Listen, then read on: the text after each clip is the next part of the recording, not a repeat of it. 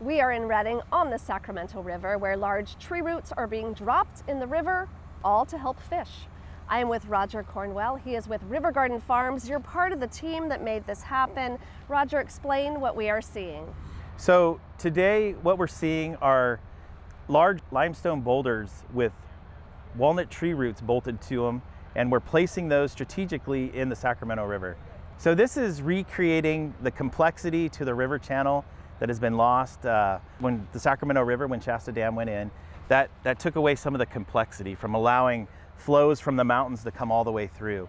So now what we have basically is a channelized desert. Our project recreates that habitat that's been lost. And the reason you need habitat in the Sacramento River is for juvenile salmon. They need a place to hide, right? Right, so correct. The, the baby salmon, they come out of the gravels and uh, they have no place to go, but they try to, to get away from predators. Anything they can find to get out of the velocity of the channel so they can grow larger and also to escape predators.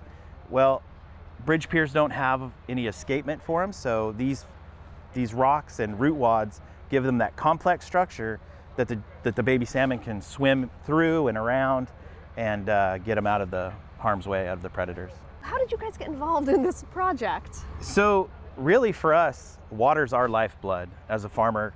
We at River Garden Farms, you know, we have a lot of riverside property and we feel very connected to the river.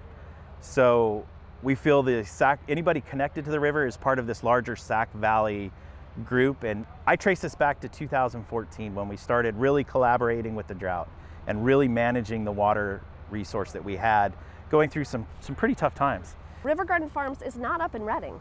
You guys are far away from this project. We're 200 river miles south of this project. We're in Knights Landing, California. When will you guys be able to see if this project is actually uh, giving you what you want, so to speak?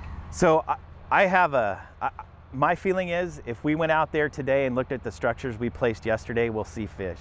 And uh, we're gonna monitor this twice a year for the next three years to get counts, fish counts of what's using them, and uh, we'll, we'll see.